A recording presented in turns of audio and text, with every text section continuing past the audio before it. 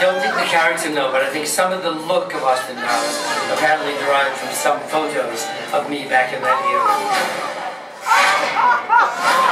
Crikey! If you look it up, poor guy looks just like Austin Powers.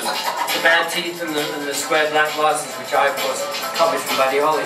Crikey again! Austin Black is look from Peter who nicked it from Bonnie!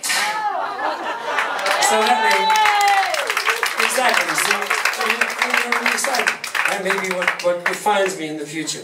But uh, people do ask, uh, you know, what, what it was like being present at, at so many, you know, formative moments, I suppose, or historical moments in, in rock and roll history. And the answer is that you, you never know at the time what's going to be an important moment and what isn't, or at least hardly ever. But there have been a couple of occasions when even at the time I felt a certain confidence that this is kind of cool. This is I may be in the right place at the right time. This is sort of important, and I'll, I will share one such with you. Back to go back to the beginning when Paul was living in our house in Wimpole Street. It was number 57 Wimpole Street, and my bedroom was the top floor on the right. That window there, and as you can see, it had a ledge outside, which apparently sometimes I would sit on unaccountably. Um, yeah, it looks a bit reckless. Um, my bedroom was immediately to the right through there, and Paul's bedroom was the one next over. But in the basement, there was a little music room that my mother used to give private music lessons when she wasn't teaching at the academy up the road. And, uh, and Paul would use it sometimes when she wasn't using it. There were no guitars in there, it was just a small upright piano and a piano bench and a sofa. Um, and I do recall one occasion, very early on, Paul had just moved in, when John came over and they went down into that music room for a couple of hours, uh, as I say, without getting the guitars, which were up in Paul's bedroom. So, uh, and after they'd finished what they were doing, Paul stuck his head up the stairs and called and asked me if I wanted to uh, come and hear the song they had just finished. So thus it was that I came down, sat on the sofa, the two of them sat side by side on the piano bench, and I had the privilege of hearing this song for the very first time.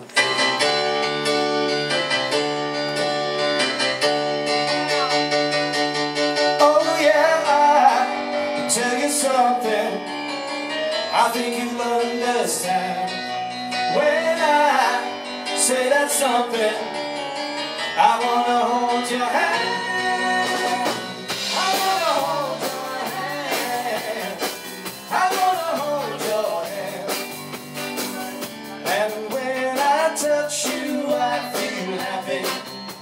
inside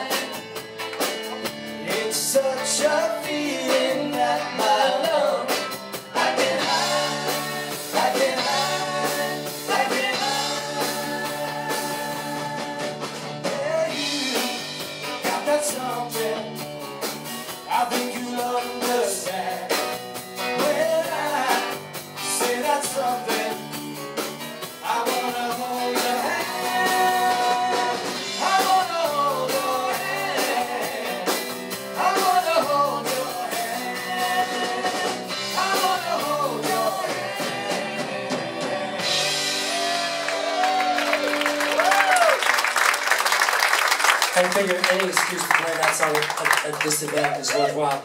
But, but uh, it was kind of amazing. And they turned to me and asked me what I thought, you know? And I said I thought it was really good. Um, what you actually do when you hear something that good is immediately ask them to play it again, which is what I did. It's just like when you used to get 45s and as soon as it was over, you put the needle back to the beginning and play it again. And that was my reaction. Um, and there is, even though it's only rock and roll, and I'm not trying to be pretentious, there is something kind of magical about being there at the moment of creation of truly great art. Because you kind of go, am I losing my mind or is that one of the best songs I've ever heard in my life? You know? Um, so it was a genuinely exciting and, and interesting moment. Uh, another fantastic song I heard for the very first time in, in my house was the song that Paul wrote for us called Woman. Some of you may know this story, but at the time people were saying, oh, if it's got Paul McCartney's name on it, it says Beatles, it'll automatically be a huge hit. And he wanted to see if that was true or not, so he asked, uh, he suggested that he might write it under a pseudonym. He, he, he wanted to write it under the name Bernard Webb and see if that made any difference.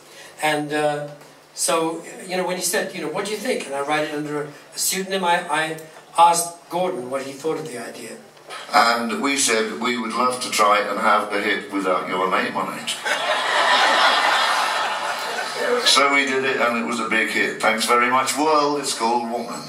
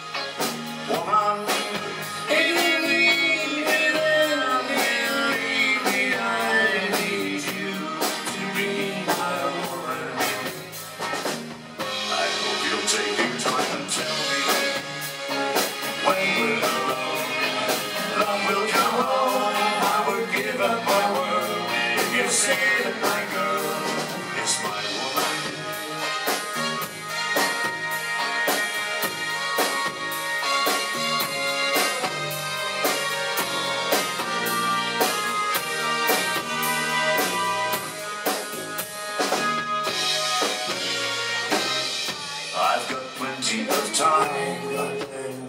Time. Help me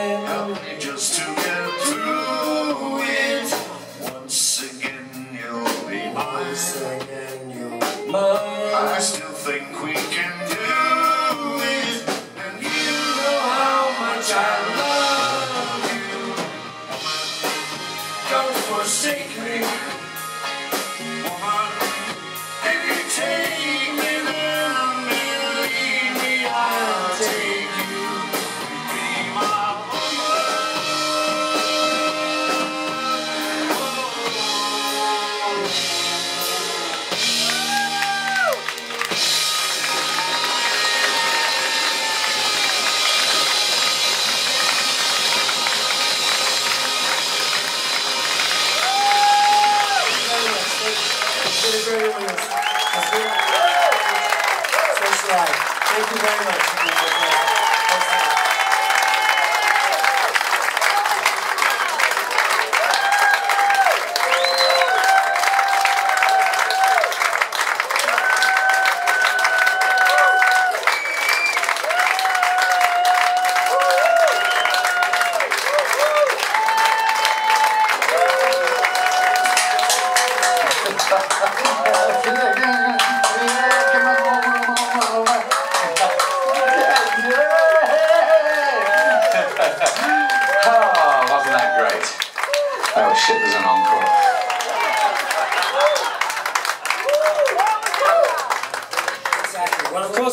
Encore because you may have noticed that the, the biggest hit got left out. We showed the lyrics, we talked about it. We never actually played it. So, two things I would ask of you. One, uh, I want you to please sing along.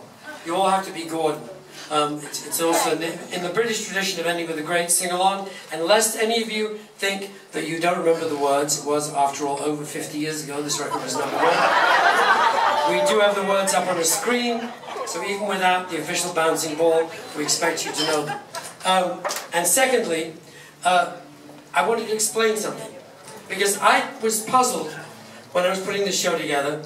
I noticed that if you look at me in the old album covers or on the Ed Sullivan Show or whatever, that I don't look exactly the same now as I do on those pictures. And I went, that's very strange. Why, why would that be?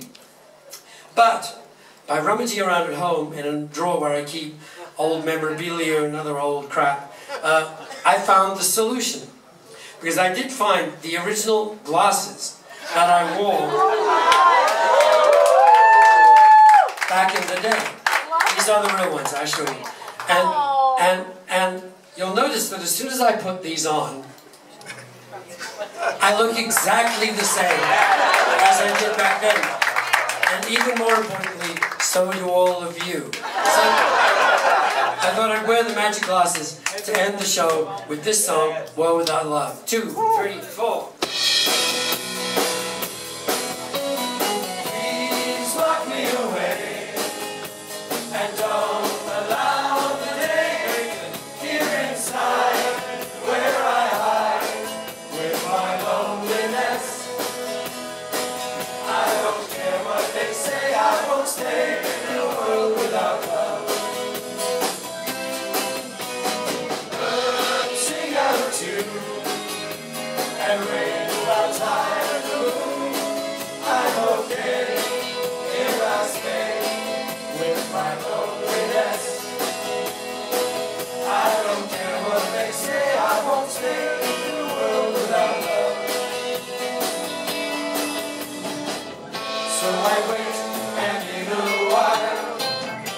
I will see my true love smile. She may come, I know not when. When she does, I know. So baby, until then, lock me away and don't allow the day here inside where I hide with my loneliness. I don't care what they say,